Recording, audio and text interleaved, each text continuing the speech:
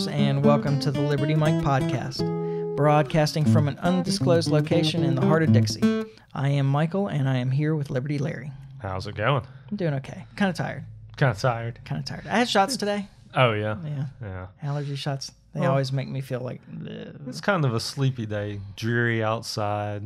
Yeah, I It was wish I still have. earlier. I still have regular work to do. Like, Oh yeah, yeah. Um. So, so we got to make this quick because because I got work that pays me. Oh yeah, waiting. Um. I hear you. but uh yeah you know just um i just don't like shot day Yeah, yeah. I imagine not. yeah Yeah. um and actually if i had had the like roughly 40 minutes that it took me to go get shots sit there and make sure i don't die and then come back to the office i would probably be done with work Oh yeah. maybe not though it seemed like everybody started working like 2.30 this afternoon yeah. that feeds into like one of The- the main the things that i do database. Yeah, all right. so Got to get it in before it gets too late. Yeah, I For guess the so. weekend Well, hits. too, it is too late, and I didn't finish it all. But um, you know, people will probably get paid on time, which Sure, seems like a priority. All right. People tend to like to get paid, especially when they perform work. yes, It's been my experience. Yes. And when they don't get paid, they get pretty angry. yes, I have gotten a few phone Re- calls. regardless of whether you're the person that has any control over that or not.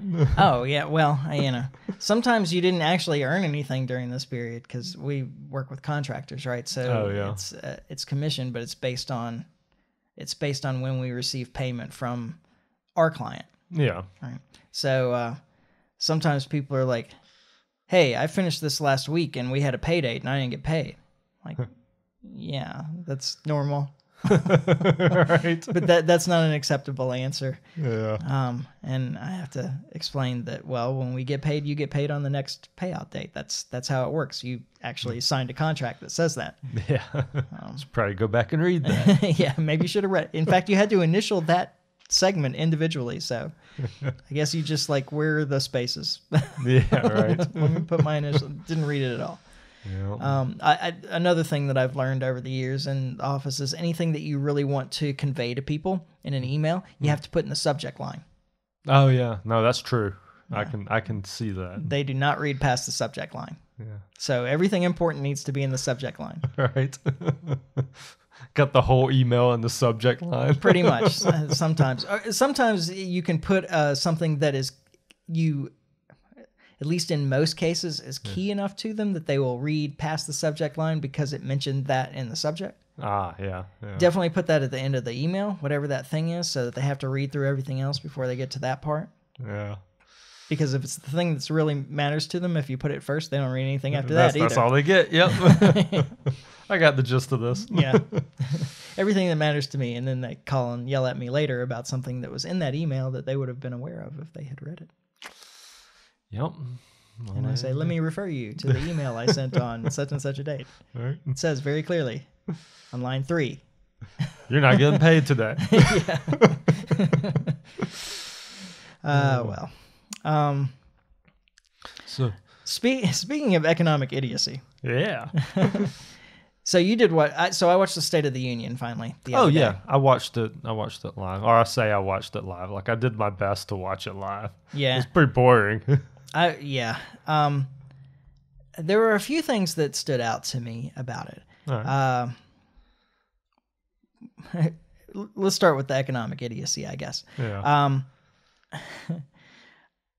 I don't understand how bringing all production to the U.S. reduces prices or inflation. yeah. Um, I I didn't understand how you can raise wages, lower prices, uh, ensure full employment, and um, raise taxes on employers all at the same time. you got to have a lot of control. Yeah, yeah, just just be totally fascist, I guess. yeah. I mean that's. Um, I mean really, that's the only way you can accomplish all of that, right? And even then, you're not going to accomplish it. No, But I mean, you can make it appear that that's happening, I suppose. Yeah. And uh, of course, the full employment thing always, always makes me laugh anyway, because um, because the only uh, way that I have seen in my study of history to ensure full employment is slavery. Slavery gets full employment. right. Um, But if you are taxing employers more, yeah. then they have less money to spend on other things. Like uh, uh, maybe it's that um, that people don't think about where money for expanding a business comes from, Yeah. right? Like if you if you want to expand a business, you either borrow money or you the the better, the more effective, the more cost efficient really way. Well, not right now with interest rates at zero, but Yeah. um, in a free market, Historically, yeah. yeah. Um, in a free market, the the way you expand a business is you take your profits from previous years and you use that capital to invest in your business and make it larger in whatever way by Yeah. uh, improving your equipment or opening a new facility or hiring more people or whatever it happens to be. Yeah. Um, so if you increase taxes on employers, then they have less money to do that with. Yeah. it like uh, taxing employers probably slows economic growth more than any other taxation. Yeah, I'd I'd have to agree with that. I don't I can't think of another way that you would yeah, that would a tax that would hurt more, especially as far as employment goes. um, and that's uh, with with all else being equal. The truth is that if you tax employers more, they they do hire fewer people, maybe let some people go. They don't expand their business, at least not at the same rate um, that they would otherwise.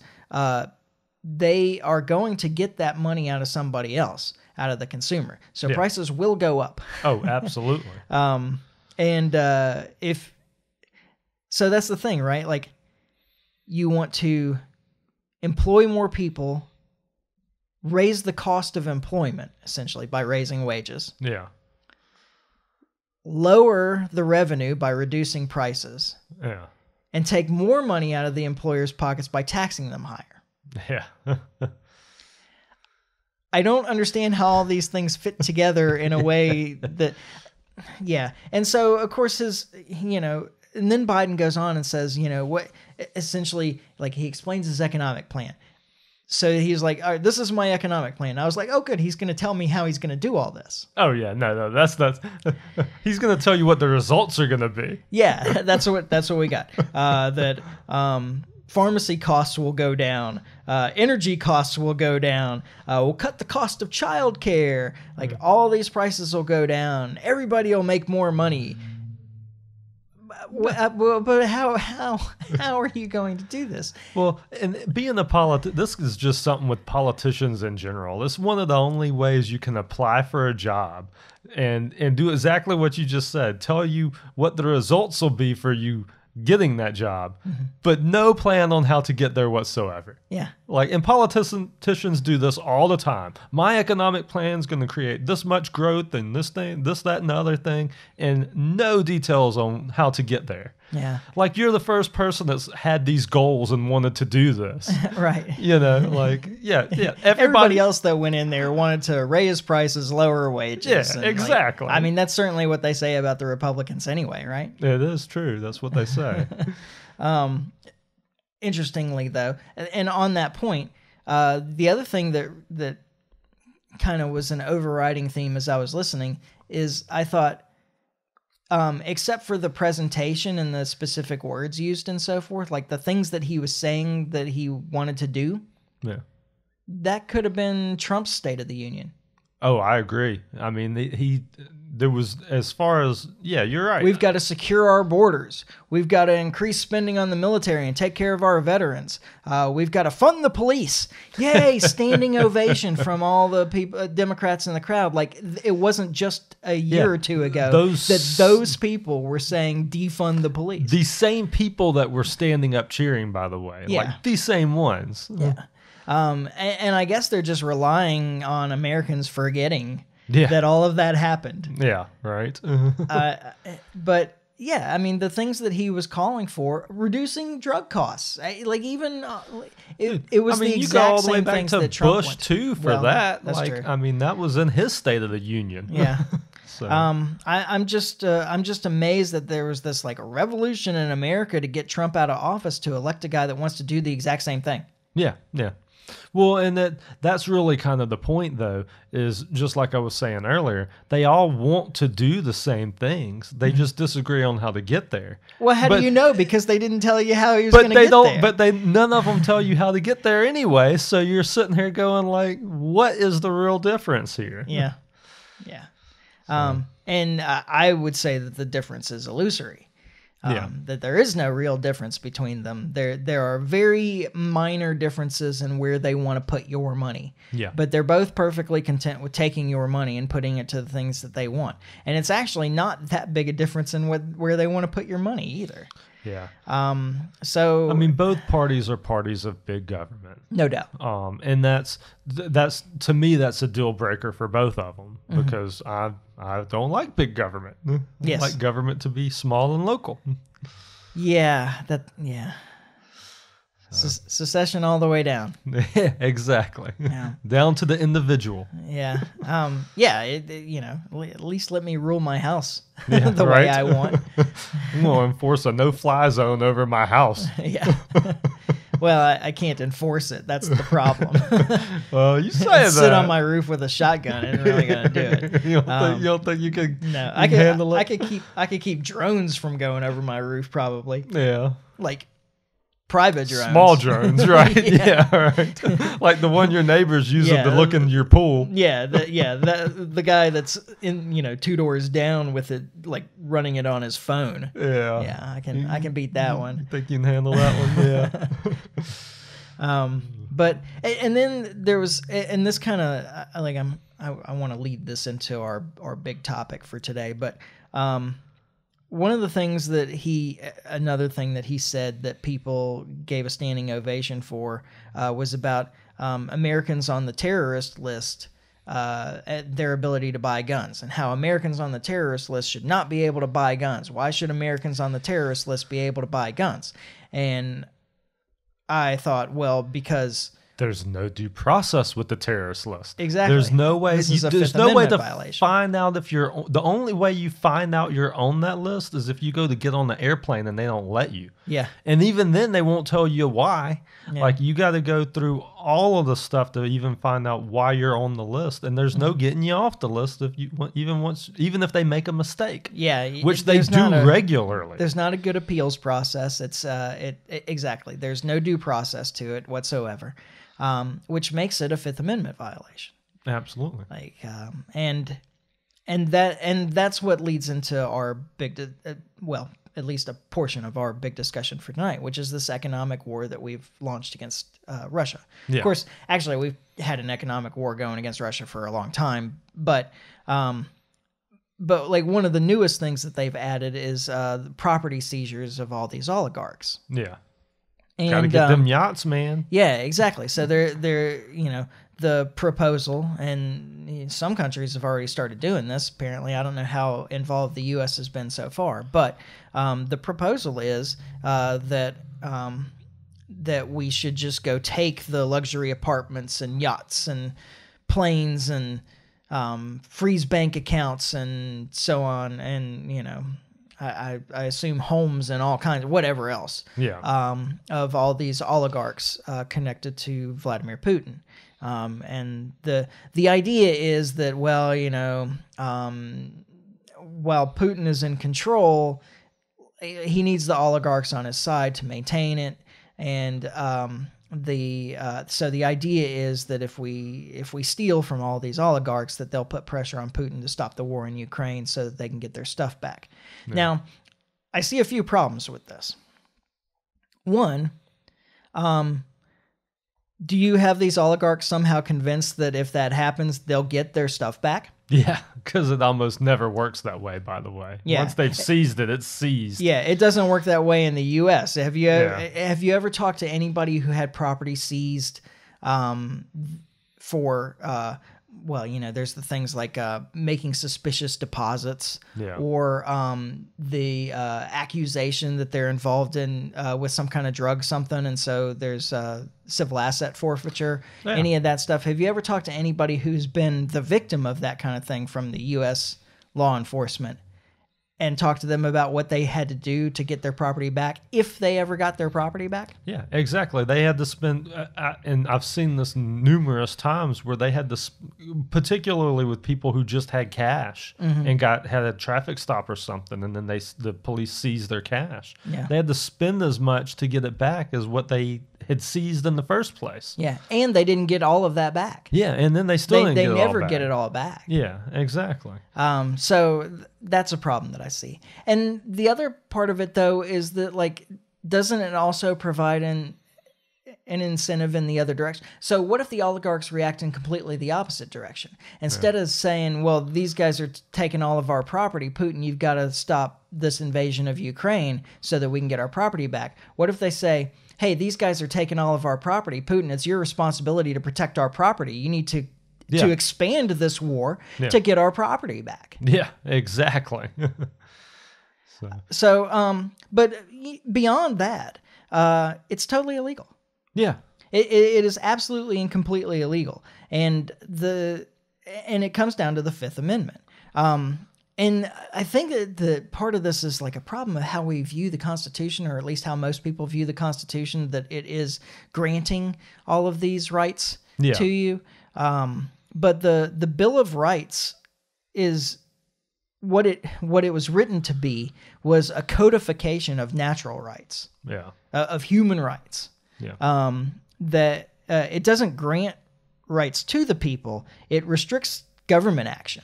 It does. It doesn't. It doesn't give people anything. It takes things away from the government. It takes possible avenues of, or you know, actions away from the government. It's meant to restrict government, not to give you things. and and it should apply to everybody, uh, citizens or not. So, uh, particularly when it comes to regard to the government seizing assets of other people, whether they're citizens or not, like the the U.S. government should recognize that this is this is what we believe, and pe- people across the board have these rights. Yeah. So we have no right to just go in and break these these rights, whether they're citizens or not. Yeah. Um, what the the Fifth Amendment says in part um, that the government can can uh, that a person doesn't say a U.S. citizen Yeah. that a person cannot be deprived of life, liberty, or property without due process of law. Yeah.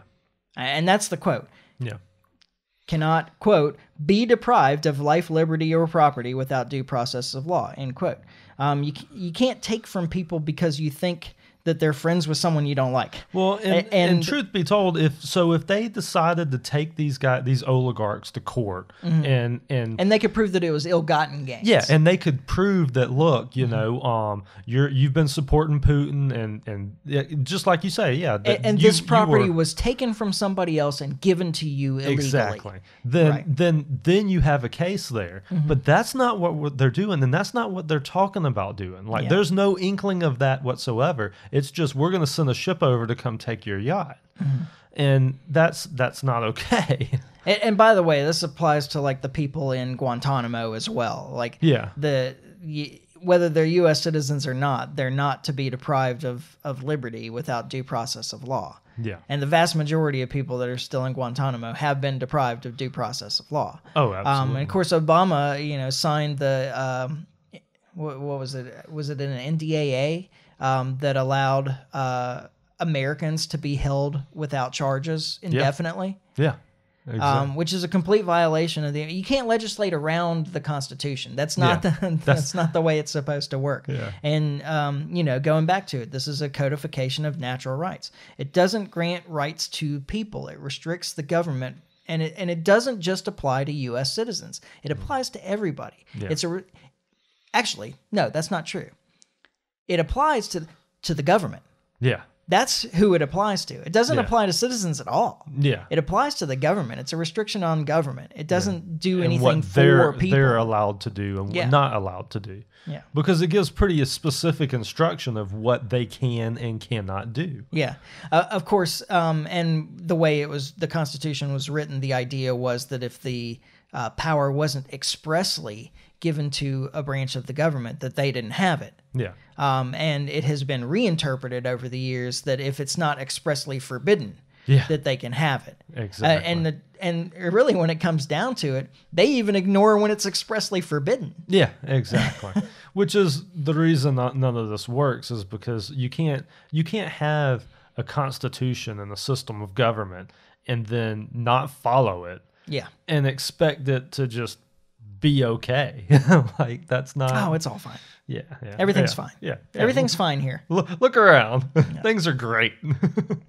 um, on top of you know and that's just one of the things that they've done here um, moving on from the property seizures uh, there's also the sanctions yeah. um, the the general sanctions on the country uh, the um, um, you know biden uh, banned purchase of russian oil and gas uh, just the other day yep. um, and the we've talked about sanctions so many times on this podcast it gets old but um, s- sanctions first off are an act of war yeah. uh, it is a medieval siege Yep. It is the equivalent of a medieval siege um, to try and isolate uh, a location economically and uh, and when i say economically i don't just mean money i mean resources Yeah. um, as well. And uh, the you know the most important part of it is uh, well, and again, so it's the same argument, right? All right, we're going to make things really bad for the average citizen in Russia, Yeah. so that the average citizen in Russia, who obviously has very strong control over their government, right. um, can pressure their government into changing their actions. Um, but once again, on the Russian side, and especially if you believe all the stories of how strong the propaganda in Russia is, Yeah. you just handed them prop- fertile ground for propaganda. Oh, Like absolutely. you are starving because the West is trying to kill you. Yeah, yeah. And that's not going to do anything but have people rally to that government more. Yep. And and we see this over and over again. It happened in Iran too with the same type thing. We did these crippling sanctions. Mm-hmm. Yeah, it is still happening in Iran. still happening. Yeah. Yeah. Crippling sanctions and you know, all it does is make people rally to the government they already have because it makes them more dependent on it. yeah, absolutely. Yeah. So it, it doesn't make any. It goes back. It doesn't make any logical sense. Like this. This isn't a way to win. Yeah, and uh, you know, in a lot of ways, um, maybe this is a bad analogy, but it, in a lot of ways, it's like punishing your neighbor's kids for something that your neighbor did. Yeah. Yeah. You know, like the the neighbor isn't really hurt. Like Putin is not going to be really hurt by these sanctions. Yeah. Um, the oligarchs, uh, except for the direct property seizure, seizure, aren't really going to be hurt by these sanctions. And the truth the is- wealthy, is- connected people in Russia will be fine. Oh, yeah. the people that it hurts the most are the people that are are the the poorest and weakest in Russia. Yeah. And it's just really kind of unconscionable that a country like ours would intentionally attack those people. yeah. And then, ex- and and especially then- when you're complaining about Putin doing that in Ukraine. Well, and then yeah, well, exactly, and then expect those same people to rally around you against their leader, because that's just never gonna work. Like it's it's just not. Yeah, It, it's a it's a moral atrocity anyway, um, and uh, and so it should never be done, and it's never effective. I, I just want to know one time where sanctions on a population have affected the political change that Yeah. was desired. Yeah. I can't think of any. I I, mean, there might be one. There- if there is, and somebody knows about it, email me, Michael at the Liberty Mic. I'd be interested to read up on that. Yeah. And I even if it's happened before, though, it's not an argument that It's not. to do it's it. obviously not the most effective way to do it because you can probably find some one-offs where it's worked. Yeah. But I think that they're going to be few and far between compared to how many times it doesn't work, and Yeah. it works the opposite way. But it goes back to even if it was effective, it's Yeah. a moral atrocity. well, yeah, absolutely. but It- you know, it was like what was uh, Dave Smith um, when he was um, criticizing uh, Gary Johnson um, about uh, you know that you can't get up there and like you know you have to be stronger in your arguments. Like um, you can't make the argument against slavery is like well it just turns out that that's not the most efficient way of gathering cotton. like Like that's not the problem with slavery. yeah, right. you know? it's just not the most effective way. We've got technology to do that Yeah. for us now. Um, So you know, with sanctions, is like the argument that it's not very effective is is absolutely secondary and not the real problem with sanctions. The real Yeah. problem with the sanctions is that you are punishing uh, innocent people Yeah. um, in in terrible ways. Yeah. Oh, absolutely.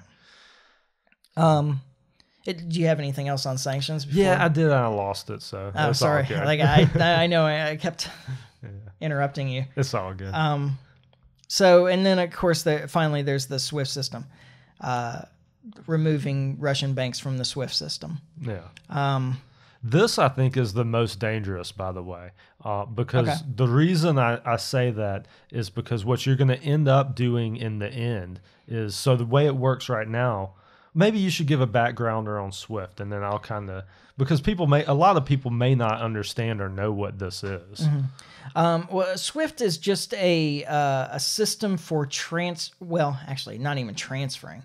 Um, because money is mostly digital now. Yeah. Um, it, it's a system for notifying banks of uh, essentially a balance transfers. Yeah, yeah, Um, so it's a a uh, a worldwide system that uses a um, a standardized coding uh, to allow banks to communicate with each other balance changes. yeah. And really, all they do is change that. They don't actually move any money from one to the other. It's just Yeah. kind of a ledger. Yeah, the way I understand it. Yeah, exactly. Um, the reason I think that that this is the most dangerous Credit is here, debit here, credit here, debit yeah, here. is because what what may wind up in the wind up happening is that since Russia is no longer allowed to use this system, that so, Russia and then some of these other countries may just start their own system, mm-hmm. and then what you'll end up with is you've got Russia and China and kind of that side of the world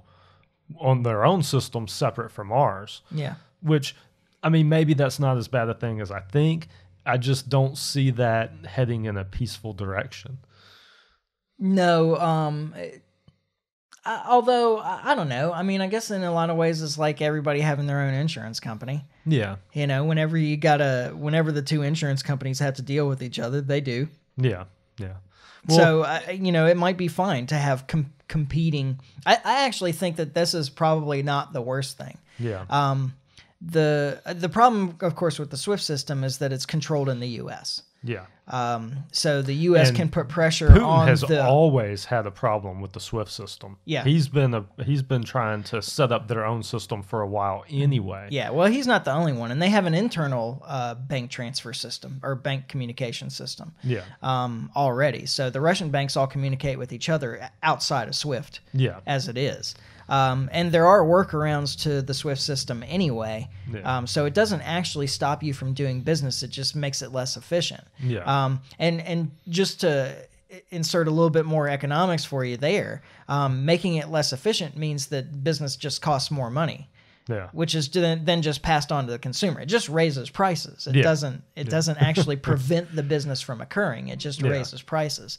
Um, and uh, you know, Russia's already like talking back on this because you know countries outside of right of Russia buy Russian goods. yeah, yeah. Um, and uh, so they, you know, with the payments to Russia being hampered by them being removed from the SWIFT system, um, you know, for Russian goods, uh, Russia said, well, if we don't get your payment, you don't get our goods. yeah, yeah.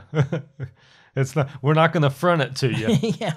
Um, so you're you're actually, you know, in a lot of ways restricting, and it, it's not, you know, the other part of that. This is mostly focused on um, uh, on controlling Russian energy Yeah. uh, at this point. yeah, Um, th- they had made a carve out for it before. That's changed, I think. yeah, Um, and at least in a lot of places, that's changed. yeah. Um, so it's not like Russian oil will then just sit in in Russia and not go anywhere. They'll just turn around and sell it to somebody else. yeah. I mean, there's Well, and that's scarcity the whole. is the first rule of economics, That's right? the like whole- everybody, there's always more.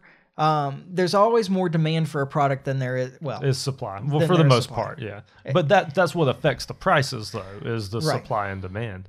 And so Um, you've just made the system less efficient because right now, you know, the, in in a free market system, then goods move to the places that's it's that it moves easiest and fastest and cheapest. Yeah. Um, and in the end, everybody kind of gets what they need because if somebody's not getting it, then they offer higher prices. And if the prices are up high enough, then the producers send it there instead because they make more money. Yeah. Um, but what you've done here is you've you've just shifted the supply chains to work in a less efficient manner, raising prices for everybody. Yeah.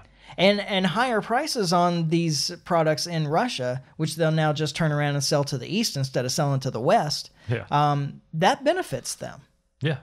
Oh, absolutely. And it hurts us. Mm-hmm. Like this deal with the, us not going to buy Russian oil or whatever, which is like I think ten percent is what I- Roughly, yeah. Um, that only hurts us. That hurts us more than it hurts Putin because Mm-hmm. somebody's going to buy that energy. Yeah. Like I mean, it's not going to just sit there. It's not going to build up in some warehouse somewhere. Mm-hmm. Like somebody's going to buy that. Yeah. Oh. And the the oil and gas that's not going to Europe now is going to be bought most likely from the US and you may think that that benefits you, but it doesn't benefit you. It benefits those specific corporations. Prices still go up for you. Oh yeah, and we're I mean we're seeing that daily. Yeah. Um, like every like I'm I'm I'm in the habit. I'm buying gas almost every day now Mm-hmm. because I I want to keep it full and I don't want to have to. Yeah.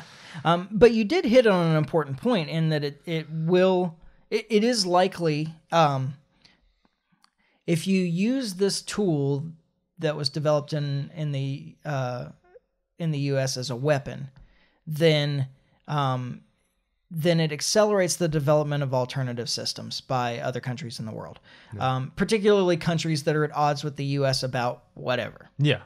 Um, and and you may think, well, you know, if we're, you know, if we've got an antagonistic relationship with Russia, Russia and China anyway, what do we care if they develop their own system? First off, we do a ton of business with China, so think about that. Yeah.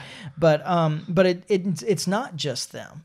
Um, the uh, European Union actually already developed a um, uh, an alternative system um, after the U.S. dropped out of the JCPOA, the Iran nuclear deal Oh really? um, because uh, th- because the U.S. using the SWIFT system was preventing um, trade with Iran, and those other countries in the EU they had wanted agreement. to continue. yeah. Yeah, wanted to continue with the agreement. Yeah. Um, they developed their own system to work around SWIFT so that they can continue continue trading with Iran. Yeah. Yeah. And that's the, those are our, Who our also good allies. who also has a lot of oil. yeah yes um and so it's just i don't know uh the other thing though and this this should be of greater concern um in a lot of ways for our economy anyway is that it, it also incentiv- incentivizes um, alternatives to the us dollar for the world reserve currency Yeah. Well, that's that's kind of more where I was going with the Swift thing as far as being dangerous. I mean, I thought that it would be more connected to Swift, but it, you're right. The big the big danger here is that if if countries decide to not trade in dollars the way they currently do, it's going to create less demand for the dollar, yeah and in turn hurt the value of the dollar. yeah the only thing really that is probably maintaining the value of the dollar as it is is just that it's the world reserve currency Yeah. Um, if the U.S. dollar was not the world reserve currency, uh, chances are that inflation would really run away. Yeah, and it, and that could you if you have countries starting to pull out from using dollars, th- it could it could cause that to happen in a hurry and give Russia and some of these other countries an opportunity to do to us what what we're doing to them. Yeah, Um, so think about that for a minute, like you, Yeah. because so we talk about sanctions and how it hurts the individual. Mm-hmm. We hadn't really felt the impact of another country putting sanctions on us and Mm-hmm. it hurting us. yeah, Um, that that this is a scenario where something like that could happen, where a bunch of countries get together and decide they're going to um, stick it to us by not using dollars Mm-hmm. anymore, and then impact the amount of dollars in the system and and and yeah. really China unloading its debt, yeah uh, the debt that it controls of the U.S. yeah Uh, or you know, essentially, what I mean by that is them calling it in. yeah yeah. Um, and uh, the yeah, um, the the downturn of 2008 wouldn't hold a candle to what would happen if the value of the dollar were to collapse in that way. I mean, you're looking at another Great Depression scenario. Yeah. I mean, that would be that would. I mean, that's what it would be. yeah. Um, Trading in bullets. Yep, exactly. Yeah. By the way, that's the that's if you want something to invest in, I, I recommend ammo, Yeah. ammo and cigarettes. But it can't be 10 millimeters 'cause not enough people have those. yeah, Uh, you want to get your good caliber, your main calibers, the calibers everybody uses. 9 and know. 45. Nine forty-five. I mean, I like three fifty-seven, but you Yeah. know, Well, everybody has 9 and 45. now. yeah, that's true. And then Everybody some of your rifle calibers, I guess. Yeah, two two three, Yeah. five five six, some of that. That's that's the same, isn't it? Basically, yeah. Um, yeah, you want something a little bigger though, you know. Yeah. Uh, 308. 308, yeah, Yeah. probably good one. Anyway, um, getting off Buy Emma. Um, and then, I, I mean, I guess that's that's probably most really all I have on the economics of this this economic war.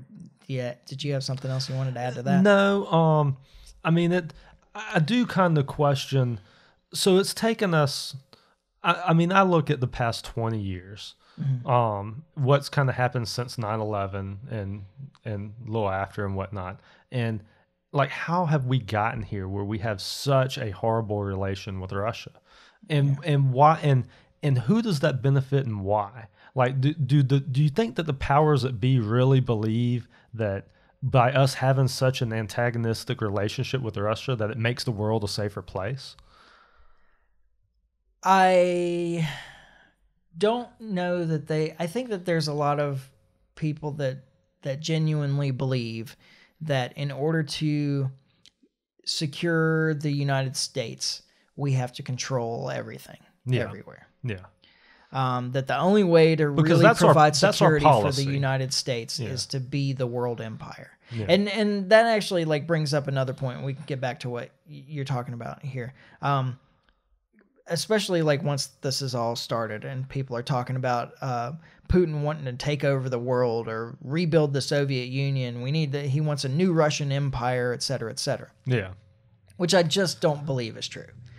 Um, and uh, you know he's misquoted and taken out of context when he said uh, actually something along the lines of anyone who doesn't mourn the fall of the Soviet Union is heartless.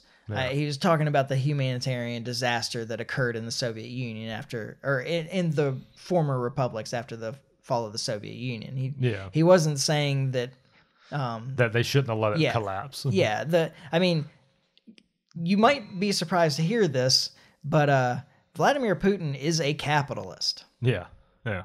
I mean, it, crony, right. but he is a capitalist. He's not Yeah. a communist. He, he's Yeah. not a socialist. He doesn't want to rebuild the, the Soviet Union. yeah, And I, I don't understand why, when the Soviet Union collapsed, we maintained a an antagonistic relationship with Russia, um, because essentially we continued in an antagonistic relationship with the very people who overthrew the evil Soviet Union. yeah. Which is what we wanted.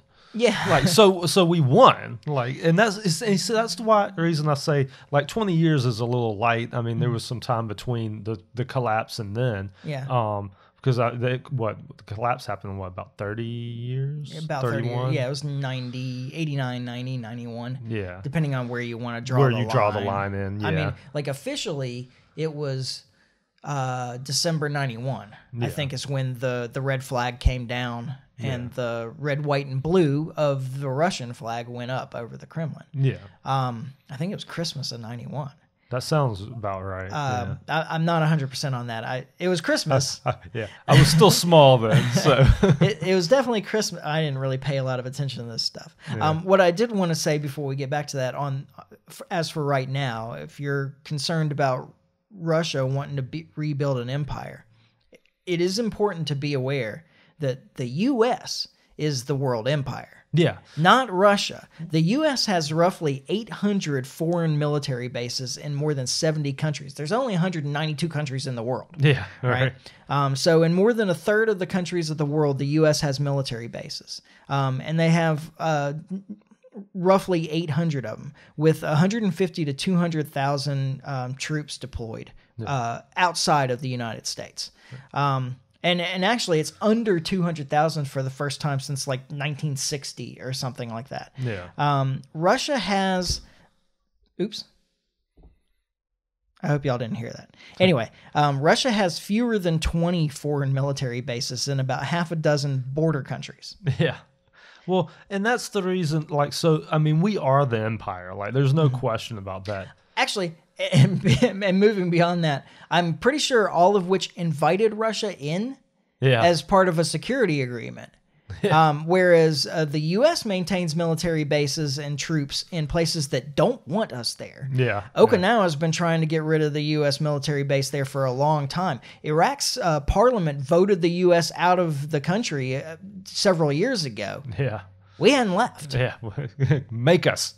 Yeah. So, So- yeah, I mean, I just I don't see. I, it just would make so much more sense if in the early 2000s, if we had just made an effort to keep peace between us and Russia. Mm-hmm. Yeah. And and we've we've done the opposite of that. We've been nothing but antagonistic and and just created problems. And it it it just doesn't make sense to have the two biggest nuclear states at odds with each other constantly. Yeah. Like it seems like the the people in power would have made it, particularly on our end, Mm-hmm. um, would have would be like, well, we need to really make an effort to to to be friendly with Russia. Yeah. Um, and the truth is, is the idea of that kind of scares me too, because if you've got the two biggest nuclear powers Then they can bully everybody else. then they can bully everybody else exactly well and you end up with you end up closer to a one world government Mm-hmm. where the the two biggest ones are in control of everything so i'm not even saying that that's the perfect scenario but it seemed like it would just seems to me that that would have been the direction to have went Mm-hmm. you know Yeah, um, I, I think like drawing this back to the oligarch uh, issue um, with the property seizures. yeah Um, I think that you know permitting spheres of influence in your region is perfectly fine. Yeah. Um, because I, I, you know, it in a lot of ways to me it comes back. Now this is applying to governments, so it's not the same thing. But um, but certainly with the oligarchs, it it is. Uh, this is about personal property. Yeah And I think that respect for personal property is um, an essential part of a civilized society. yeah absolutely Um, and e- like even in communal societies, like even in the you know the small scale tribal societies where the you know it's it's there's a lot of communal property and so forth, there was still personal property. yeah And don't everybody out there take this the wrong way, but like in a lot of ways, your children are your property yeah right? Like nobody needs to mess with your children. yeah, They're well, your yeah. children, and It's nobody your- needs to tell me how I how I need to raise them and don't raise them. Like, yeah, that's And this is where I'm going to get myself in trouble because they're going to take just this segment and not what I say afterwards out later. Um, but like, your wife belongs to you. Now you belong to her too. Yeah, Like, yeah, This is exactly. this works. That's a ways. mutual. You entered into a mutual agreement that we own one another. yeah, exactly. So you you know, which is why it it can be such a pro- why adultery is such a problem. And in fact, Yeah. adultery is such a problem in in a society, like disrupts a society so badly that these small scale societies that people were very interdependent. Um, like adultery had death sentences in a whole lot of cultures. Yeah, yeah, Um, and it had death sentences because it can disrupt a society so bad that people starve. yeah, yeah. Right. And it doesn't take long, right? yeah. Um, so uh, it- you know, in the same way though that these countries like they have their area, yeah. like the well, and that I, and I, I think being respectful of their property in a sense, but certainly like eh, you know their security concerns. yeah. Um, that's uh, that's an important part of getting along well, it in the world. and what I it just doesn't make sense to me, and I can't wrap my head around the idea that like what would be so bad if Russia kind of dominated that side of the world, like if they, you know, if they were all ally, if Russia was all allies with all of the former Soviet um, countries, Yeah. like why, why is it we had to bring them into our fold and and and put them against Russia? It just Yeah. it it it doesn't make. I mean, I guess if you if you want to eventually take Russia over, it makes strategic sense. But that's not what we want to do. Like it shouldn't be what we want to do. But maybe it is. Like Yeah. maybe that's that's the plan. You know, um, because it like we dominate our side of the world. It's not like Yeah. it's not like Mexico is allied with Russia, you know. Well, there was a moment after the fall of the Soviet Union where the U.S. was the only world superpower. yeah. And um, there are a lot of people that want to keep it that way Yeah. uh, through force if necessary. Well, and so any challenger that begins to rise, Yeah. China, Russia, is a danger Have have to be dealt with. and has to be dealt with. Yeah. and and maybe that's my answer is that or maybe you're providing me the answer with uh, you know after after the fall of the Soviet Union the powers that be decided well we've got to keep them down Mm-hmm. and and not bring them into the fold and let them overtake us yeah. you know Yeah. Um, and I think a lot of it is just like uh, ingrained prejudice. Yeah. I mean, you, you had people like people making decisions at that time had had 50 years roughly, um, less than, but I guess 45 years of Russia being an enemy. yeah And and, they So I you know, they continue to think of Russians being that way, even though our enemy was the communist Soviet Union. yeah Is the Union of Soviet Socialist Republics, which didn't exist anymore. well and that's the reason I have so I didn't live through that so I can't really speak And the new it. Russia, again, to point out, was the people that overthrew that. Well, that's that's kind of to my point that where so I didn't live through all of that, so I can't speak to it. But mm-hmm. it just would seem to me as somebody who had lived through all of that would be like, well, we won, like, mm-hmm. and take that as a victory, and then the people who overthrew should be our allies now because they did what we wanted them to do. Yeah. Um, but that wasn't the case. I think that people slightly older than me still carry a strong bias against Russia. yeah, Um, I, I was 15 when the Soviet Union um, collapsed. Uh, most of my memories are during the time where we were dealing with the Russians Yeah. regularly, you know, through Reagan years and the um, HW, uh, you know, Bush the Elder, yeah, um, making deals with Russia and really kind of winding down the conflict in a lot of ways. yeah, Um, I think people that are, you know, roughly a decade or more older than me um, had a long time to learn to hate Russia. yeah. And it and, a lot of those people are still in politics, Yeah. Well, that's the truth, which is a problem in and of itself, including our president. Yeah. Um, so I think that that's part of it is that there's just kind of this like learned bias that they can't get rid of. Yeah. Yeah. But I don't know. Well, it's a shame. it's just an idea. it's it's a shame because I really just feel like it it makes the world a danger more dangerous place, Mm-hmm. especially now that we're in a Oh, situation where where we're, we're arming another country against the other nuclear powered country. Yeah. Like and openly, it's not even like a secret. Like I mean, It's such a terrible idea anyway because the Ukrainians cannot beat the Russians no matter how many weapons we give them. no, no. Um, you- you heard, right? Um, you heard the story where uh, the um, was it Sullivan? I think it was Jake Sullivan. Um, got out there and uh, there was like discussion of um, other uh, NATO nations providing jets Yeah. to uh, Ukraine, Yeah. and like Poland was one of them. Like uh, you Yeah. know, uh, the Polish uh, and um, and I think it was Jake Sullivan got out there and said that if the Polish, uh, like any jets that the Polish gave to Ukraine to help them defend their country, um, the U.S. would backfill. So essentially saying like any of your Poland has MiG We'll twenty replenish yeah. Yeah. So any of your MiG twenty nines that you give to Ukraine, we'll replace it with F sixteens, brand new F sixteens or F eighteens or whatever. Who knows? Yeah, yeah. Um, he might have been specific. I don't recall. I didn't actually see the interview. I just heard coverage of it later. Yeah. But uh, so Poland immediately responded and said, "We will immediately and at no charge give all of our MiG 29s to uh, Ukraine." Um, but we are going to give them uh, to the U.S. to deliver. well, that's just it. Because as soon as somebody has to, and that's has to of fly a jet plane, a fighter jet, into Yeah. Ukraine, where the Russia controls the airspace. yeah, where Yeah. it will So- soon be shot down, Yeah. and yeah, how And, do you, uh, how do you do delivery? How do you take Yeah, and- delivery on that? And Kirby, um, one of my favorite spokesliers uh, out of the Pentagon because he sounds like such an idiot so frequently, and I Yeah. I get a kick out of it. Um, Kirby like immediately put out a statement saying that we do not approve of this transfer, and like Yeah, so right. They backed off immediately, and I Yeah. I thought this story was funny. Yeah. Um, Yeah, because, because- essentially Poland just called the U.S.'s bluff. yeah. Like, yeah, Right. we're not taking. Yeah, you know? They can have our planes, but you're taking them, there, not us. yeah, we're not delivering them. yeah. Um, and yeah, the U.S. started backpedaling really fast. yeah.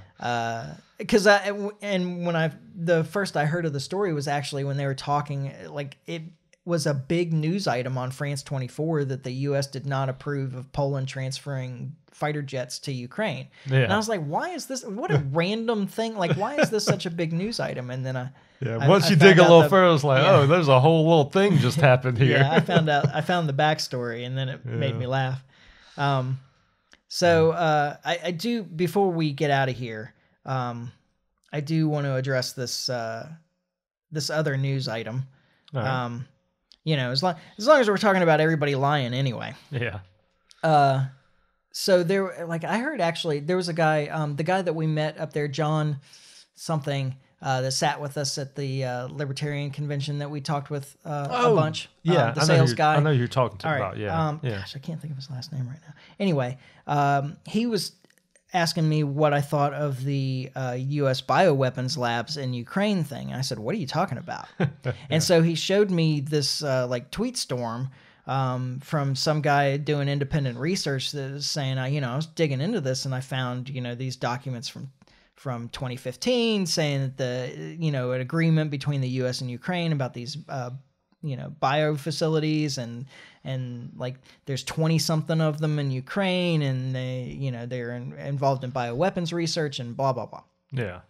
And uh, I was like, well, I don't know anything about that. I'm gonna have to dig a little deeper. Yeah. Um, and then I suddenly couldn't find anything about it except that this was all a big hoax. Yeah. Uh, anyway, and um, and then uh, it came back up the other day, and I uh, because Victoria Nuland gave a little. Um, was answering questions about the Ukraine crisis and other things, but uh, mostly about the Ukraine crisis in the Senate yeah. and um, and she mentioned this, and so I, I heard. I don't know how to present this. Um, I want everybody to hear this clip uh, from Victoria Nuland Okay. um, because I, what I'm hearing on the mainstream media, nobody from what I've seen in the mainstream media, and the and the big one for me is France 24 because they were all over this. Yeah. Um, and but they didn't ever play this clip. What they play is Jen Psaki saying that the Russians lie and that the U.S. does not have, um, you know, bioweapons research in Ukraine, and that may be true. Um, but it, the whole thing is a little suspicious, and so I, I do want people to hear um, Victoria Nuland kind of uh, tiptoe around being very careful with the words that she uses. Yeah. Um, well, it's interesting to me because I I just find it hard to believe that there would be labs labs of this sort in Ukraine and us not have our hands in them. Yeah, Like I mean, like there was one in China and we had our hands in it. yeah, Like, and we ain't exactly allies with China. right. So, I mean, I just find it hard to believe that Ukraine has these things and we're not. There's one in China that had absolutely nothing to do with the pandemic. Yeah, yeah. The, the pandemic may have started in that city, Mm-hmm. But it didn't have anything to do with the lad. Right, right. It is just a That coincidence. was like, yeah, one hell of a coincidence. yeah. I just want to make that clear because I want our video to stay on. yeah, yeah, exactly. we don't want to get taken down. So, And I, I'm, I hope that I'm saying this in such a way that people understand. Um, but here's the clip from Victoria Nuland. Uh, uh, Marco Rubio is the questioner here. Okay. A- And this is an, well, I'll come back to him in a minute. all right. All right, here's the clip. Does Ukraine have chemical or biological weapons? Ukraine has uh, biological research facilities, which, in fact, we are now quite concerned Russian troops, Russian forces may be seeking to uh, gain control of. So we are working with the Ukrainians on how they can prevent any of those research materials from falling into the hands of uh, Russian forces should they approach. I- I'm sure you're aware that the Russian propaganda t- groups are already putting out there all kinds of information about how they've uncovered a plot by the Ukrainians to release biological weapons in the country and with NATO's coordination. Okay. They're just normal biological research facilities that we are very concerned that the Russians might get their hands on the materials from these totally normal biological research facilities. Yeah. Sounds a little sketchy to me. Yeah. Um, and so, like you already heard the start of the the next part, uh, which is how you know that th- this this line of questioning was planned. Yeah. Um, partly because Marco Rubio is not the guy that's going to um, be the one trying to expose secrets of the United States uh, Yeah. in in a public um, Senate hearing. Um, I what's happening is that they know that this stuff is about to get exposed Yeah. and they're trying to get ahead of it.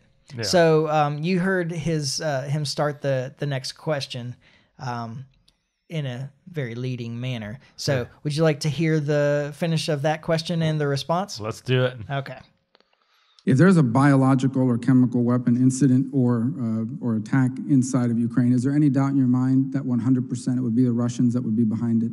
There is no doubt in my mind, Senator, and it is classic Russian uh, technique to blame on the other guy what they're planning to do themselves. It is classic Russian technique to blame on the other guy what they're planning to do themselves.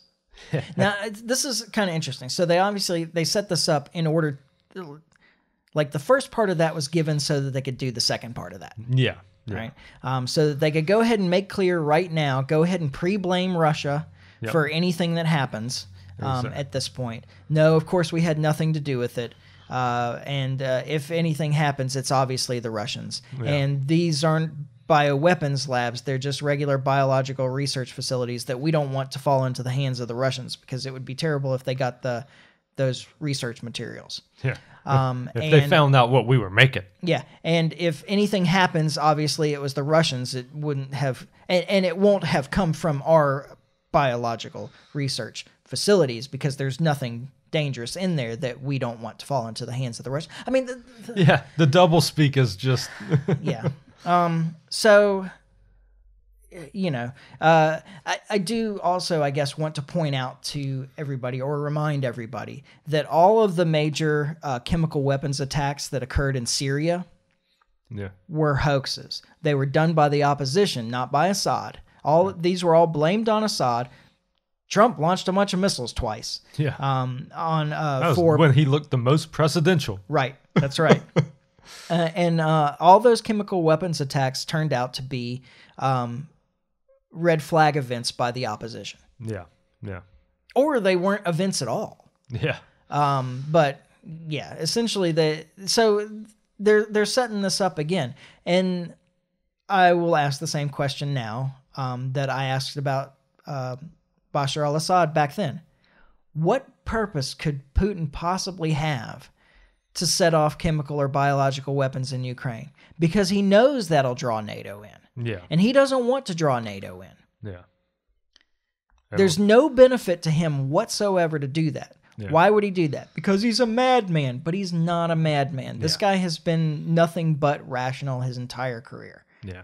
And I think we've said it on the podcast before. Anytime somebody's telling you the leader of another country is a madman, mm. be wary of that person because that person has not read the history and looked into the background. Yeah. They're just that that's never madmen don't generally run countries. Yeah. like I mean they they can, I guess. I don't know. But yeah, I, I now they- I won't deny that he's ruthless, Well, yeah, but I he's mean- irrational. well, that's just it, and he's he's not going to do something that would be suicidal for him, W- because that would be. Yeah, Um, it, it just wouldn't make sense. yeah.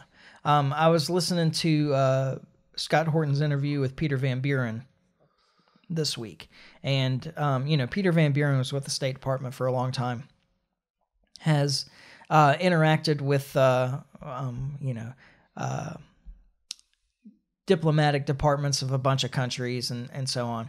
And um, what he was saying is that if you want to know what Putin's going to do here, you got to look at what the political goal is, and that his he thinks that the political goal um, is to create a buffer, just like a, a buffer between the the borders of Russia and um, and NATO or um, Western controlled weapons and and so forth. Yeah. And so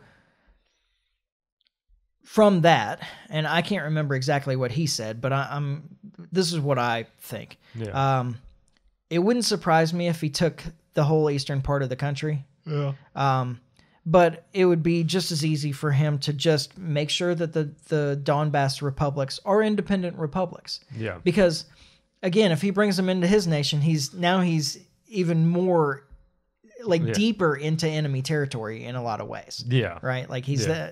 the, you know, um, so I think he wants independent nations on his border that aren't, Yeah. uh, you know, aren't antagonistic towards him, aren't Yeah. like anti-Russian, Which and- doesn't seem like that much to ask, by the way. Yeah, no, it doesn't.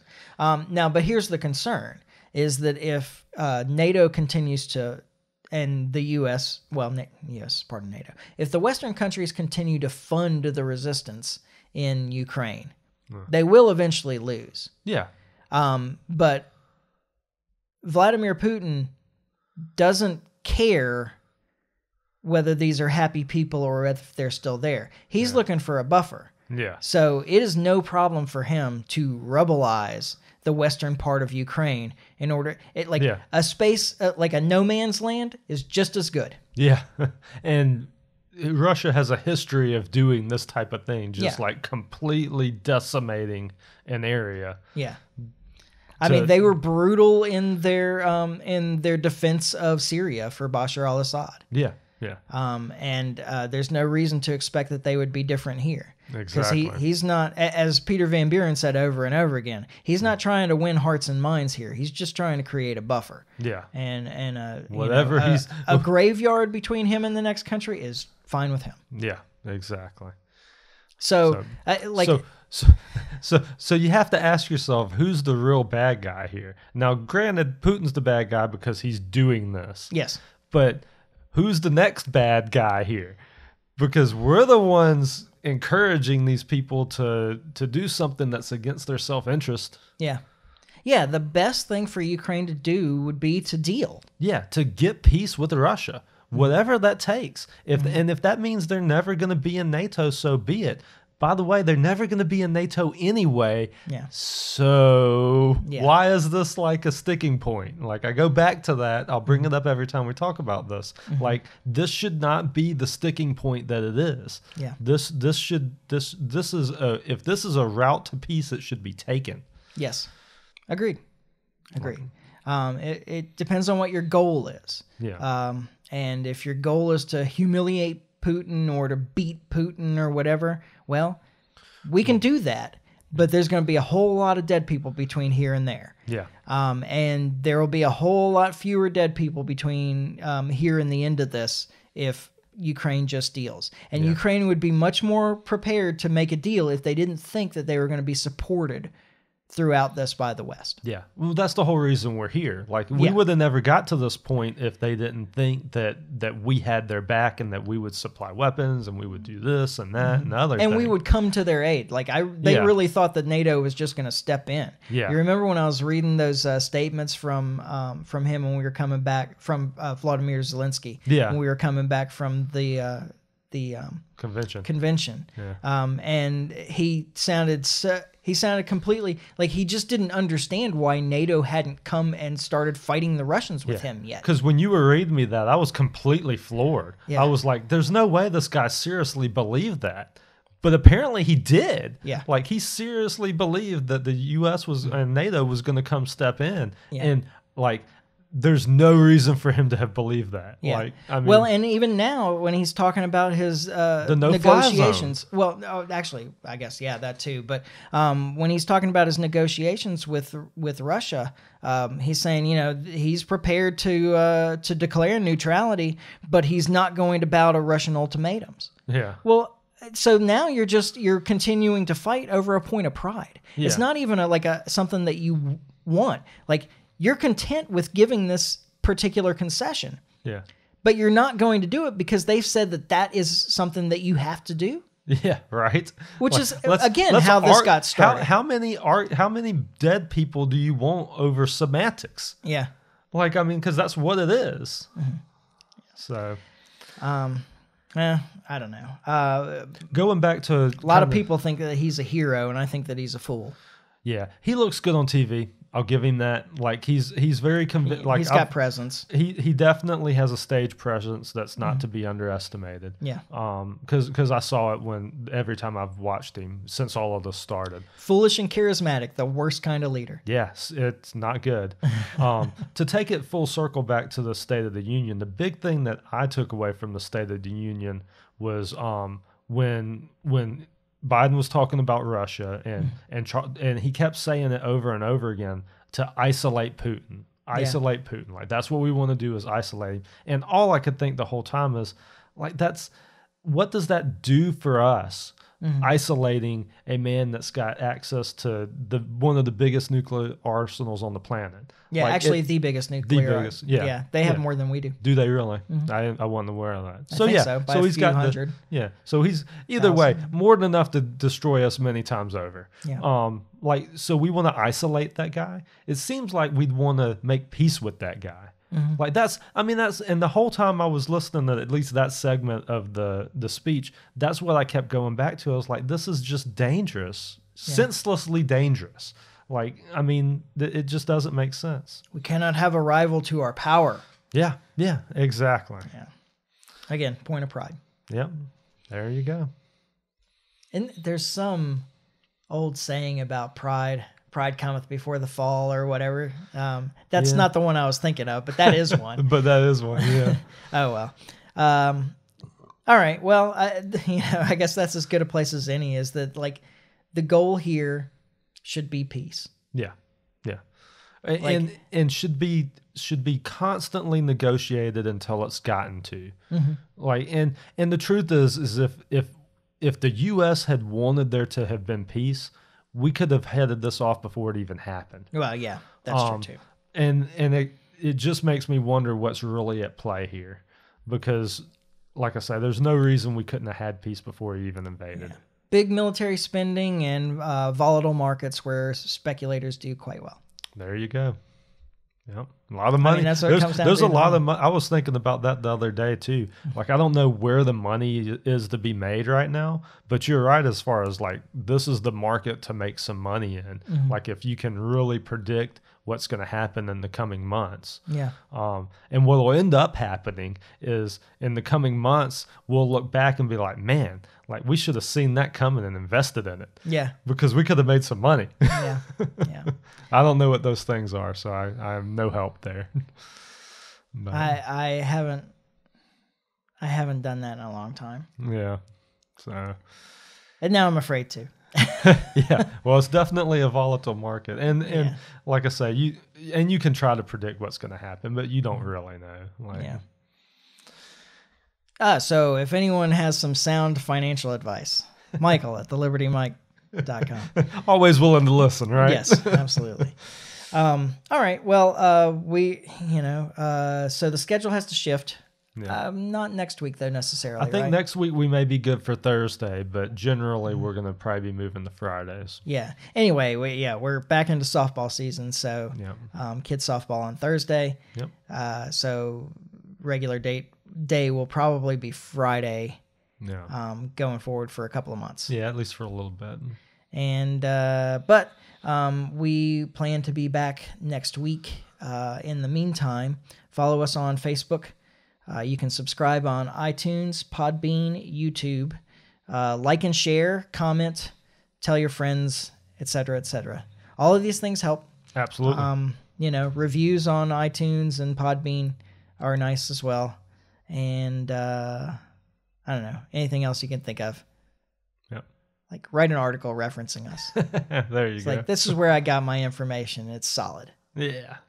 Um, and uh, we'll be back next week when we finally get this right. And in the meantime, try to stay free. Life short, live free. Ciao. Later.